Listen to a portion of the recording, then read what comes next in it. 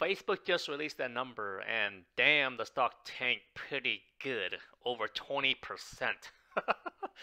At first, I was very excited that, hey, Facebook's on a discount, a massive discount memory, I was almost a trillion dollar company.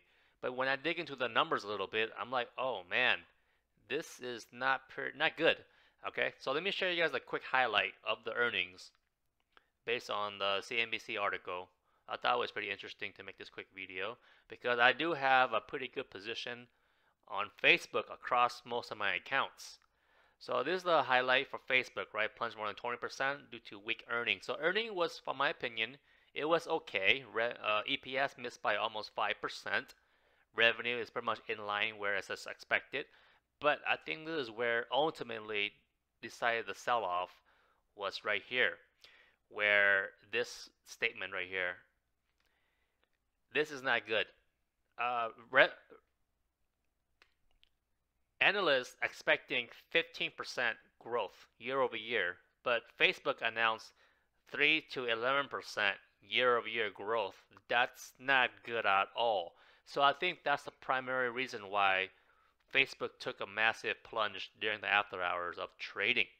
So for those don't know, I have a lot of Facebook shares on my main account and my trading account and my long-term pretty much all my account has Facebook in it and it's either number top five position on my all across my account, obviously, right? Because I'm very bullish on Facebook. But this is not the first. This is not the first time where I experienced Facebook tank more than 20% on one day. So let me go back a little bit history right here. So my, I bought my very very first Facebook shares back in 2015 when it was around $80 a share ish, around this time right here. Now, if you notice here, so let me go back again. All about this is just price action wise, and this is why you need to have a plan and have an idea. You know, these this stuff can happen, right? Don't the worst thing the worst thing you can do is panic sell, which I have done in the past, and that's why I don't want to do it again. So you can see Facebook right here. This is about 2015. So you can see how it went from almost 100 bucks, like the highs right here, uh, the high, right, almost 100, 99, 98, and then tank all the way down to low 70. That's over 26, 20, almost 30% tank right here during this time frame. And this is where I start scooping up some share on the $88 range when it, on the rebound.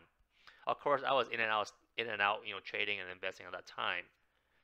Now let me zoom zoom a little bit more out on the monthly chart to see a better picture. So that was right there where my very first experience, and then also this right here.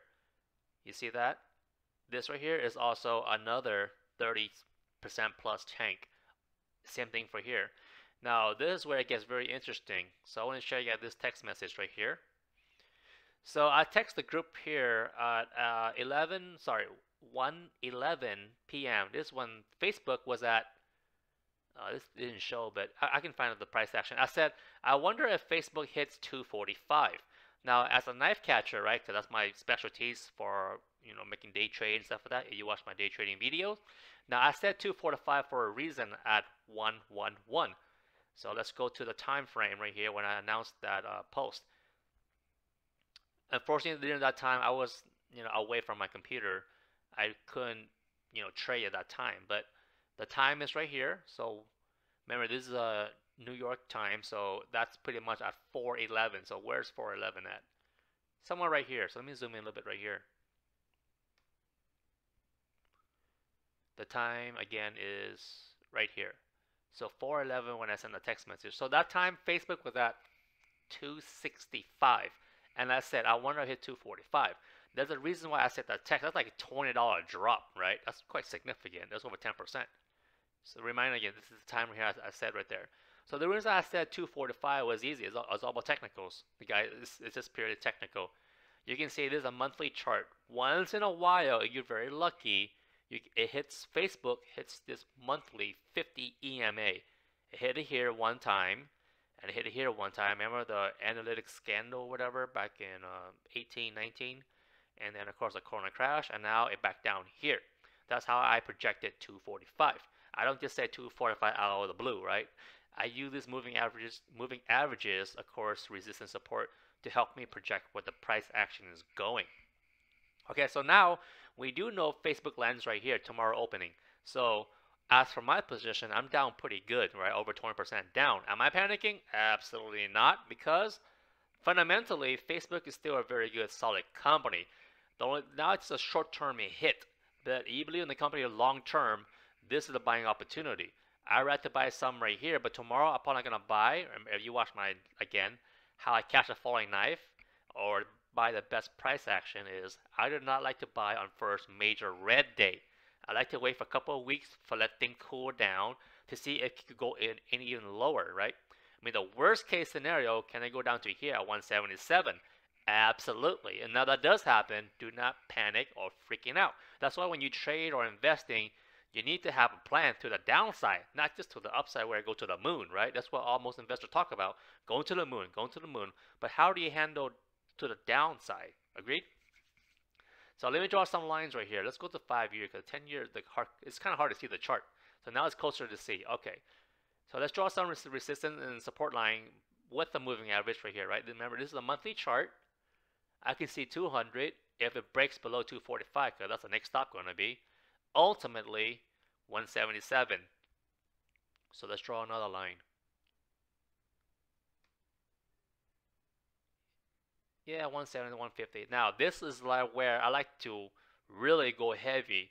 Um, I'm already kind of in heavy already. I have like quite quite a lot of shares. Uh, almost a thousand shares across all of my accounts. That's over a quarter million dollars, by the way. So yes, I, I am pretty heavy in Facebook, but I'm not freaking out because if it does tank down here, I would like to nibble some more share. Maybe I sell some more puts. But as for the moment, I am happy where I'm at on my position. So what I'm going to do now is, if you recall my one of my video, I made I have a put. So I have a lot of put at 330, collect a uh, 15 16 dollar premium. So that being my average cost base around 315. Right now is at 3 250. So pretty much a 60 dollar tank, right? So what I can do is then that put option does not expire until March 18. You can go back to this video and watch what I did uh, right here.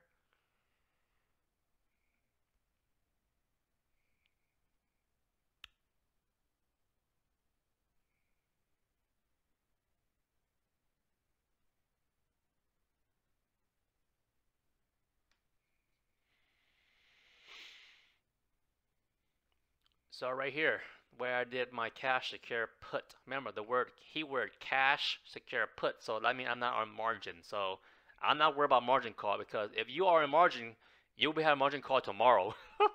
Because it take over 20%, right? You double your loss or double your gain. So yep, I'm not in margin yet, so I'm not worried about. So yeah, that's my plan. Uh, I'm gonna see if this thing with this support would hold for the next couple of weeks. Cause take some time for investors and trader, you know, gaps, what the hell just happened. Now, if it breaks below that, my next one is 200 and ultimately 150 or 160 right here. This is my, my really buy zone. I don't think it'll hit down here, but you never know what the stock market is going to happen, right? Short term, anything can happen because for me, again, for me, the true intrinsic value for Facebook as of today is around 350 and above. So right now it's a, such a good discount. Okay, now that's Facebook. PayPal. I also in PayPal. It, it contributes 4% on my portfolio around the $200 range. Notice today it take down to 128. So I'm also down pretty good on PayPal. Again, am I panicking? No, because only 4% on my portfolio, my main portfolio. So it's not a big dent. It does hurt a little bit, but um, not not drastically. So let's go to the chart again. What I'm looking for for PayPal I like to buy some more. If it gains down to here, that's my first. These are my uh, the zone. I like to nibble some more shares. Oops, sorry about that. So this is the place where I like to nibble some more shares. Is right here, around this range right here. Can PayPal hits that? Because right now it's at 120. Absolutely. Guess what happened tomorrow? Uh, look like it's gonna be a red day tomorrow because of Facebook it can pull the whole index down across the overall market. So this is my PayPal. I like to sell some puts right here. Notice right here too, one thing uh, that I haven't uh, talked about is the stochastic. Check out the stochastic right now. It's, a, it's been the lowest ever since IPO. Let's go to max. Yeah, this is the lowest stochastic ever since IPO. So I think we are getting near the bottom. around this range right here if that does happen. Amazon earning is tomorrow. And again, Amazon is my number one position right now on my long-term portfolio and all across my investments. So we will see how it does. My average cost for Amazon is around 3000 on average. I, I bought some at 3100 3200 even 2800 So again, Amazon is one of that stock I've been in and out for a very long time. So I'm very familiar with Amazon and Facebook price action. But I would not be surprised if Amazon tanked tomorrow. Again, this is a monthly chart. These right here are pretty much the key, the key level I'm watching right here. I think the buy zone for Amazon is very obvious. I don't know if that or not. Again, I like to talk about downside more than upside because I like to talk about risk management, not just, oh, it's going to the moon, you know what I mean? But what happens if the stock goes against you? You need to have an exit strategy or a plan or how to approach this where you don't panic sell because that's the worst thing you can do. Because all these stocks has very strong fundamental, hence the word fundamental. So this right here was the ultimate buy zone. If Amazon ever break below 2,000, I don't know if will or not, but we will see. Because Amazon has not hit this this line right here. You see the green line I'm highlighting since I don't know back in 2009, I think, way back over here. See, yeah, back in the the recession where I start hit the green line. Because after that, I keep bouncing off this blue line, which is the 20 monthly EMA. So we never know what's going to happen. You know, it can either spike up above 4,000 because that's where I think Amazon going to go long term, above 4,000 a share. Short term wise to earning, who knows, right? I mean, look at Facebook, it tanked 20%. Look at PayPal, it tanked 20%. and these are pretty much solid company. So yeah, I'll be definitely gonna watch this price around the 25, ultimately the 2000. Sadly for me is I cannot sell put for Amazon. Yeah, because it's just too expensive. You know, sell put for Amazon that's like 200k price lock up. I don't want to lock up 200k, especially just for one contract. So it kind of sucks. And again, I don't have 100 shares of Amazon, but I do have quite significant shares, almost 100 shares, but not not quite 100 shares. It's just to show you how big I'm in, Amazon. Again, I said Amazon is my number one position in my uh, in all of my portfolio combined. All right, so that's a little update. What the market is doing. It's pretty brutal out there, but uh, hang in there. If you are in a good company, you should be fine. See you guys in the next video.